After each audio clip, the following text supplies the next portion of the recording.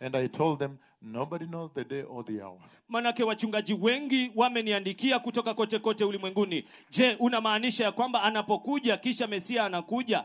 Au mwisho ama, katika utawala ama wake? mwisho katika utawala wake? Nikawaambia kwamba hakuna mtu ajuaye siku wala saa. Yesterday, I anchored the conversation on three major prophecies. jana nilitia nanga mazungumzo katika uh, uh, unabii kubwa tatu muhimu I shared on the prophecy of uh, July 29th, 2009, sleeping on the floor of Johannesburg, South Africa. nilishiriki katika maono ya julai 29 mwaka wa 2009 nikiwa nimelala sakafuni katika ule uwanja wa ndege wa johannesburg kule afrika kusini When we were going for a massive national revival in Venezuela, tulipokuwa tukielekea katika uvuvio mkubwa kabisa wa venezuela across almost all the cities of Venezuela. kupitia yapata miji yote kwa kule venezuela And we were waiting for the flight across the transatlantic flight, across the ocean. na tulikuwa tunangojea wakati And wa, then- kwabi- wa, wa ndege And so, na hivyo basi you remember on the floor of the airport, Una- Johannesburg, una- Oliver Tambo, unakumbuka katika sakafu ya uwanja wa ndege wa oliver tambo with the bag as my pillow.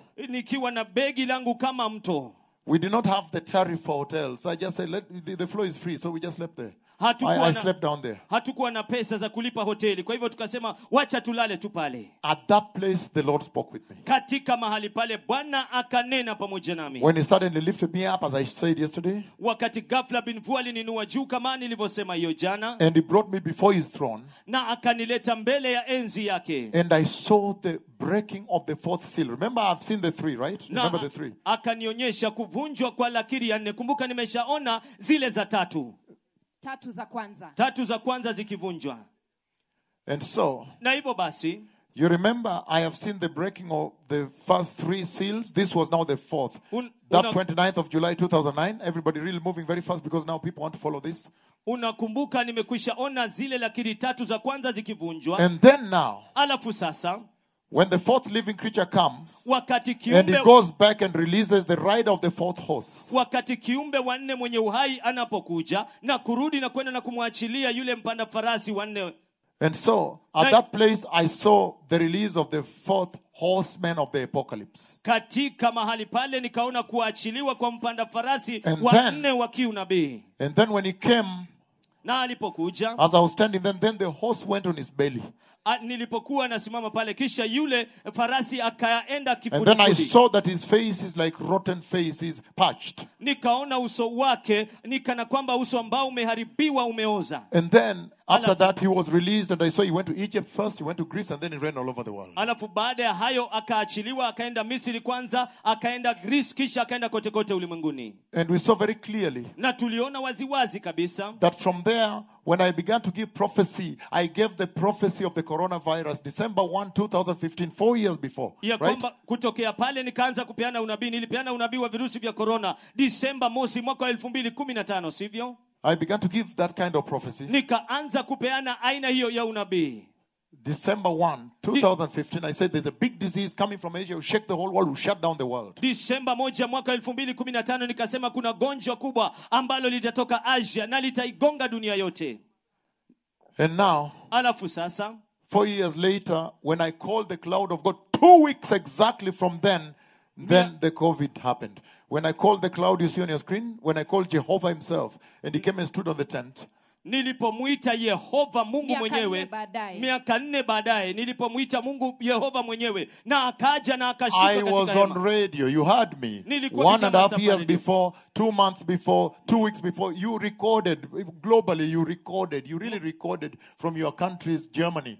You recorded my daughter. You listened to that prophecy and you recorded. You knew that I have called Jehovah na mkarekodi mkajua kwamba nimemuita yehova because it was done in the public. Thank you. So then you see when he came to the meeting on the tent in Kisumu. unaona alipokuja katika mkutano katika hema kule kisumu First of all, if you see how he was coming from the other horizon beyond the lake, he is bigger than the lake plus the city put together. kwanza kabisa unapomwona akija upande ule mwingine wa From wa the bahari, horizon. ni mkubwa ka- He is kuliko bigger bahari than the lake and the city put together, my ni Lord. mkubwa kuliko bahari na mji umeungamanishwa pamoja And the white glorious patch I was talking about in that prophecy. na ile sehemu ye, And ya then- weupe ambayo nilizungumza katika huo Then he came on the tent kisha akaja kwe, juu ya hema And remember the day before in the conference, I had told you that I see he's going to rain like, like a shower head, like you have a, for shower, a shower head.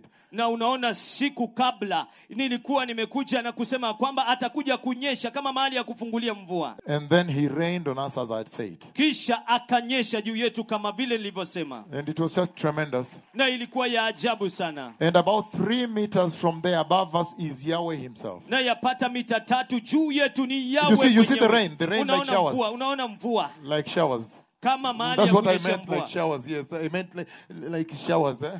Yes, that, that's what I said. kama mahali ya kunyeshea mvua hiyo ndio ambayo nilisema And so now, na hivyo basi sasa and then the COVID came two weeks after that. kisha korona ikaja majuma mawili baada ya hiyo And remember, when he came in the cloud, he talked about the COVID, and then he said, I almost killed them all. na unajua alipokuja akasema ya kwamba karibu ni waue wote And I know very well na najua vyema kabisa that I have hidden one part of that conversation ya kwamba nimeficha sehemu moja ya mazungumzo hayo when the Ancient of Days now stood himself and wakati spoke about the COVID. wakati mzee wa siku wa kale alipokuja mwenyewe na akazungumza kuhusu covid Because those are now extents we cannot describe here, right? kwa sababu hizo ni vipengee ambavyo sasa hatuwezi kujadili hapa So, blessed people. kwa hivyo watu wabarikiwa What is the Lord saying?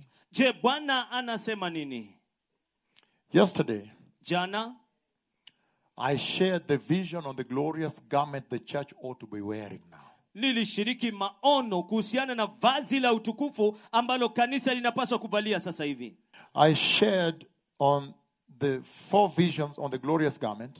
nilishiriki kuhusiana na maono manne kuhusiana na vazi la utukufu I shared about July 29, 2009, Oliver Tambo, the floor of the airport. nilishiriki julai 29 mwaka 2009 katika uwanja wa ndege wa oliver tambo Kwenye Katika sakafu. sakafu. kwenye sakafu And when the pale horse was released, na wakati farasi wa kijivujivu walipoachiliwa remember the second part of that vision, I saw the church for the first time inside heaven. kumbuka sehemu ya pili ya hayo maono ni ma, kwa mara ya kwanza nikaliona kanisa ndani ya mbinguni And I saw, just listen to me, blessed people. And I, okay, don't, don't worry. I saw their garments were glorious, white. Nika, nikaona mavazi yao yalikuwa ya utukufu And remember, they were all worshiping in unison in front of the throne. na kumbuka wote walikuwa wakiabudu kwa sare moja mbele ya And they were lifting their hands up and going one direction together like this. na walikuwa wanainua mikono yao juu wakielekea upande mmoja namna hii kisha wanarudi And every mwingine namna hii. time they, they, they changed direction, their garments would flash, would give flashes, uh, like flashes of uh, lightning or, or camera flashes, like thousands of them, blinding.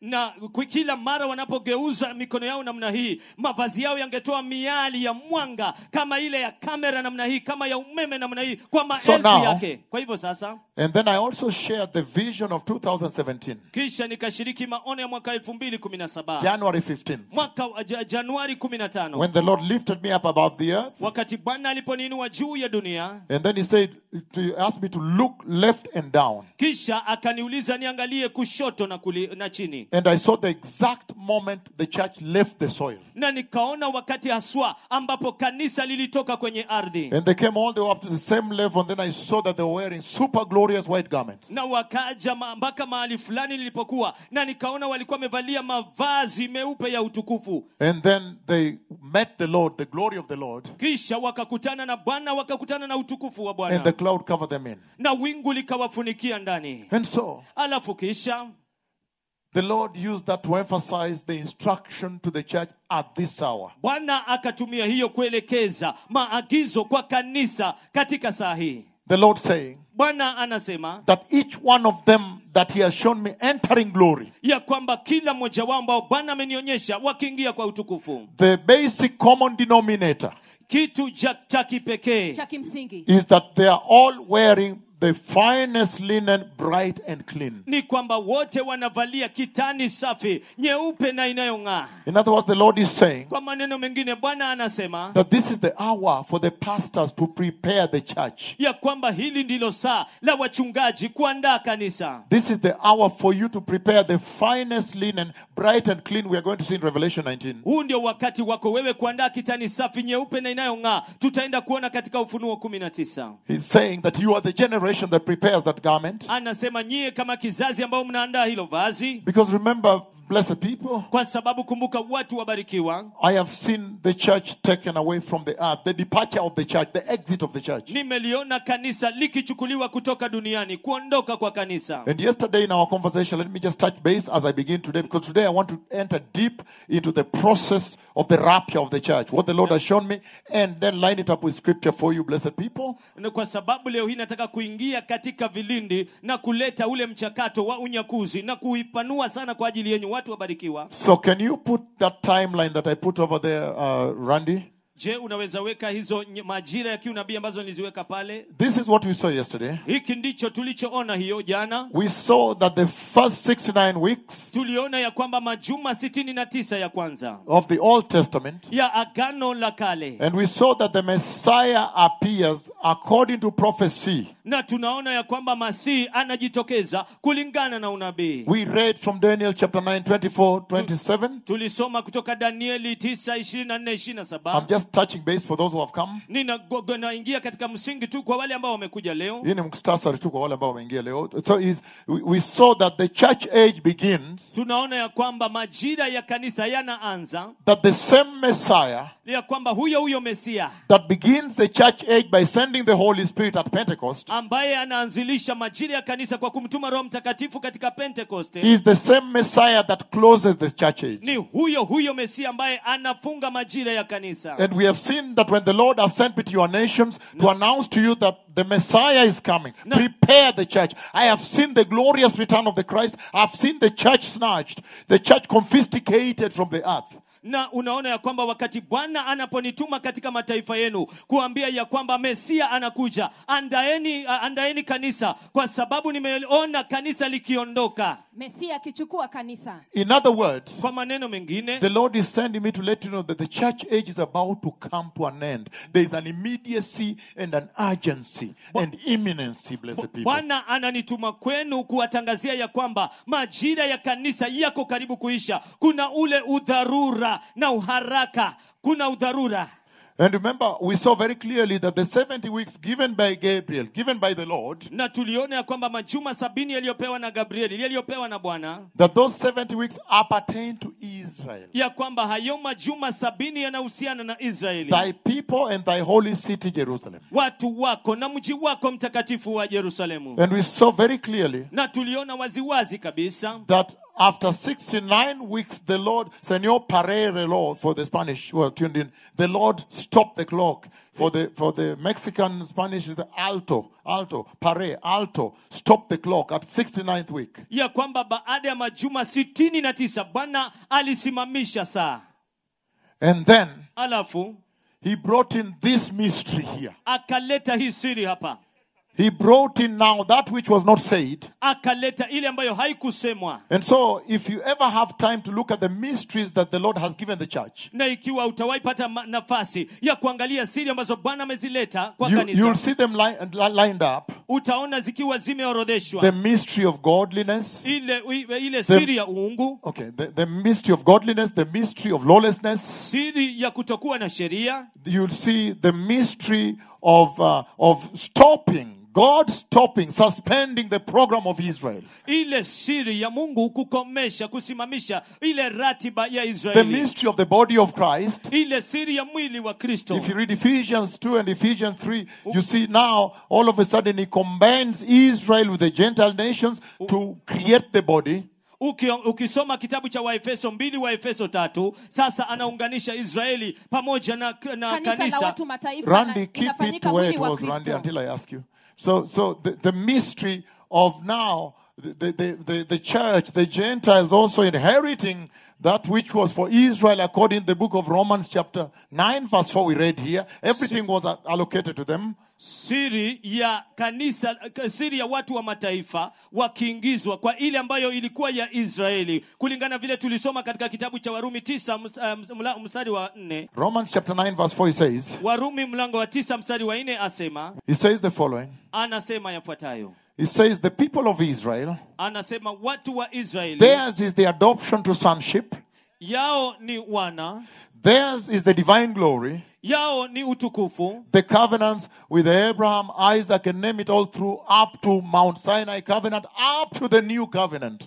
Hallelujah. yale maagano kule kupokea sheria ibada ya kwenye hekalu na zile ahadi So you remember the covenants all the way from Abraham, kumbuka maagano kote kote kuanzia kwa abrahamu Isaac, and Jacob, and then you have the Mount Sinai covenant, and then now the new covenant. All was for Israel. That is the awakening that came yesterday here. isaki na yakobo kote kote hadi mlima Okay. sinai yote ilikuwa kwa ajili ya israeli hayo ndio tuliona jana It says, the people of Israel, theirs is the adoption sonship, anasema yaani watu wa israeli ambao ndio wenye kule kufanywa theirs is the divine glory, wao ni ule the covenants, yale the receiving of the law, kule kupokea the temple worship, ile ibada and the promises. na zile ahadi And then he talks about the patriarchs. alafu kisha anazungumzia kuhusu mashujaa Now, again, back to that timeline because of the people who have just joined us, I bring them to the same base. tena kurudi katika yale majira kwa sababu ya watu ambao wamekuja leo And so, look at this now. angalia haya sasa He says anasema that 70 weeks are decreed. ya kwamba majuma sabini yameamriwa And we saw the prophecies that must be fulfilled, the benchmarks that must be achieved, the milestones No. within that prophecy. Atone for sin. All this was meant to be able to restore Israel back to the Lord. na kumbuka tuliona zile nabii ambazo lazima zitimilizwe ku, o, kufanya ondoleo la dhambi haya yote yalifanywa ili kurejesha israeli kurudi katika enzi And so we saw, na hivyo basi tuliona.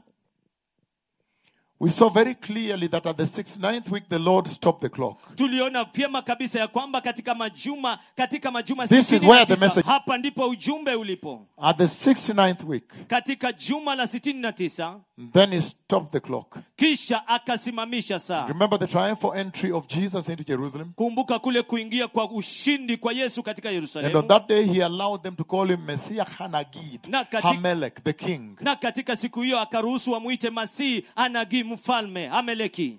And then the next thing, crucifixion. alafu kitu kilichofuatia kusulubishwa So, part of this prophecy has been fulfilled. kwa hivyo sehemu ya unabii huu imetimilizwa We found that part has been fulfilled, part not yet. tukagundua ya kwamba sehemu imetimilizwa sehemu nyingine bado And we saw that that is where the message is for the church. na tukaona kwamba hapo ndipo ujumbe ulipokuwa kanisa Because we saw kwa sababu tuliona that there are promises the Lord gave David. ya kwamba kunazo ahadi ambazo bwana alimpatia daudi The covenant, when Nathan, the prophet of Yahweh, went to speak to David, agano wakati ambapo nathani ambaye ni nabii wa mungu alienda kuzungumza na daudi he promised him the house of worship on the mountain of Hashem.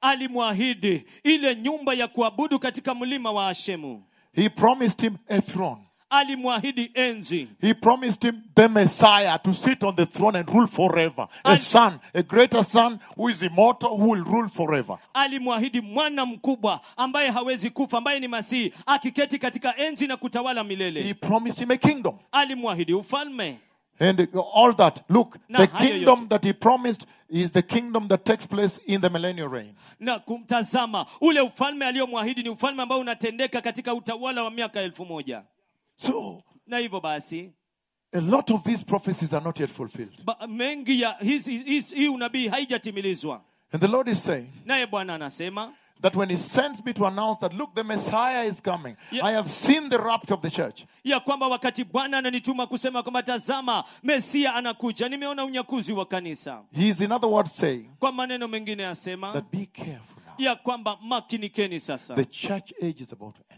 Kizazi cha kanisa majira ya kanisa yako karibu kufikia mwisho Do you remember the epistles we read? The, we read from one of them yesterday, uh, the church in Philadelphia, the model church. je mnakumbuka zile nyaraka ambazo tulizisoma jana mojawapo kutoka katika lile kanisa la philadelphia The ambalo ni kanisa epistles la that muhimu. Jesus himself wrote to the church. nyaraka ambazo yesu mwenyewe aliandika kwa kanisa And I said the following We saw that seven pastors were called by Jesus. tuliona ya kwamba wachungaji saba waliitwa na yesu And I said, nami nikasema Can you imagine if you're one of the seven? je unaweza kuwazia ikiwa wewe ni mojawapo ya hao saba That the Lord himself ya kwamba bwana mwenyewe has written a letter to the seven pastors. He has written a letter to you on service. So now you are serving. ameandika barua kwako jinsi ambavyo unatumika jinsi ambavyo unamtumikia Can you imagine the panic as Je- you are going to pick your piece, your letter? je unaweza kuwazia kule kutetemeka na woga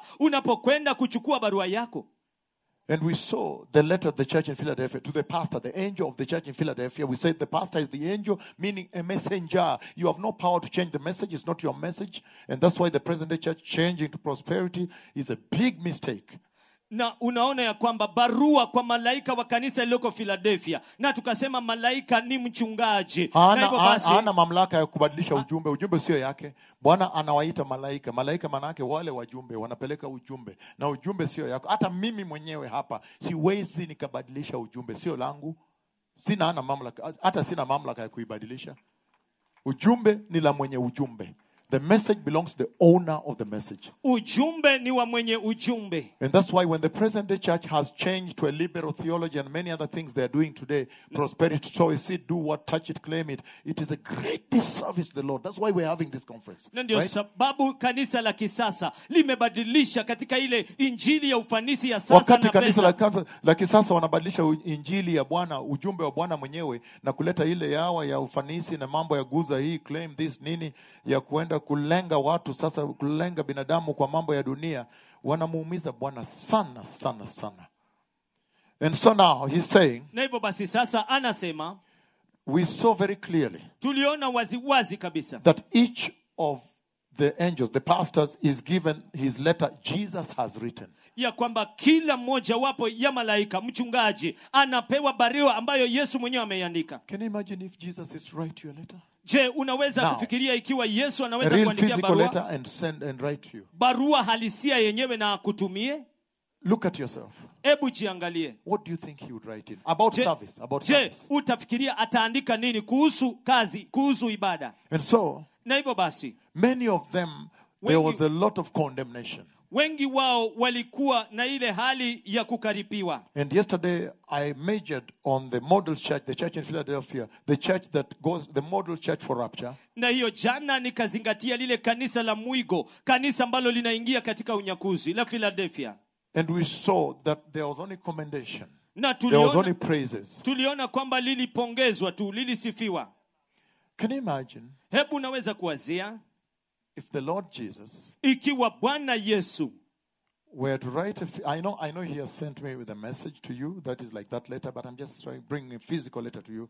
Can you imagine if you were to write a letter to the present day church, what he would write? Je- chu- just a moment.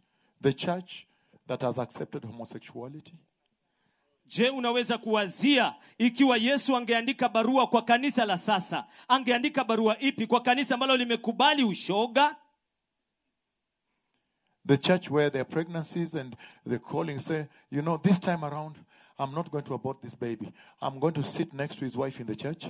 kanisa mahali ambapo kuna kuavya mimba na anapiga simu anasema mara hii siwezi kutoa hii mimba nitakaa karibu na mke wake Those, kanisani those phone calls come here. hizo simu huwa zinapigwa hapa And so we need to be very awake to this, blessed na people. hivyo basi tunahitaji kuwa makini na kuamka kwa jambo hili watu wabarikiwa And so, na hivyo basi now listen to me again. sasa mnisikilize tena The church age, kizazi majira ya kanisa Revelation chapters 2 and 3 are in that church age there. ufunuo mlango wa pili na watatu iko pale katika kizazi cha kanisa And pale we saw the following. na tuliona yafuatayo Everybody still focusing on me? kila mtu mkiwa bado Before mnanilenga we get started, kabla tuanze we saw that the letters to the seven churches they run through the entire spectrum of the church age. Those le- those epistles they, they cover the entire church age, such that right now we are in a place where there is a synonym with the Laodicean church.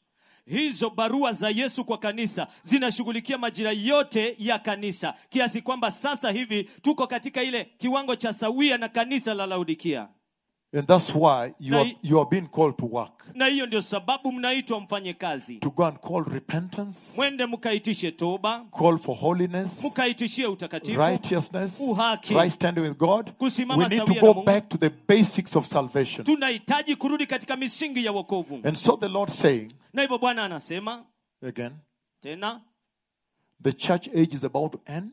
ki, majira ya kanisa yako karibu kuisha after that, after the rapture, na baada ya hiyo baada ya unyakuzi there is no church. hakuna kanisa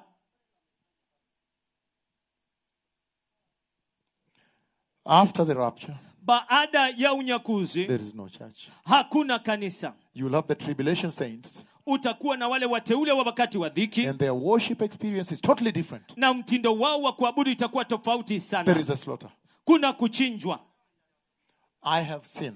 nimeona I gave the vision of the white fish floating. nilipeana maono ya wale samaki weupe ambao wanaelea And so we saw na hivyo basi tuliona that we need to be very careful as the church. ya kwamba tunahitaji kumakinika sana kama kanisa Because the Lord is saying, kwa sababu bwana anasema there are promises He gave David, He gave Israel. kunazo ahadi ambazo alimpatia daudi alipeana kwa israeli And He now wants to come back again, na sasa anataka kurudi tena again. tena That the Lord suspended the program of Israel ya kwamba bwana aliahirisha ratiba ya israeli in order to take in the mystery, take in the church. ili akaweze kuingiza ndani siri kuliingiza kanisa This body, the body, the new creation. huu mwili uumbaji mpya And He's saying naye anasema that after rapture, ya kwamba baada ya unyakuzi He will switch on the clock. atawasha tena ile saa And then the 70th week, which I have seen, I have given some prophecies that are inside the tribulation, by the way. alafu kisha lile juma la sabini ambalo nimeliona nimeshapeana unabii ambayo iko ndani yake Unabii zingine? Unabii Okay, don't worry about that now. So I, I have given some prophecies that are inside the tribulation. nimepeana unabii zingine ambazo ziko ndani ya dhiki And so you know it will take place. na hivyo basi mnajua ya kwamba itatendeka